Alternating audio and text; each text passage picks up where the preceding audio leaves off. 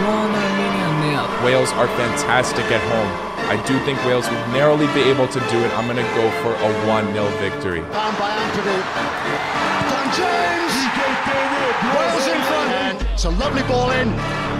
And, and oh, what an equaliser! Has beaten Wales. Oh, magnificent! Oh, sensational!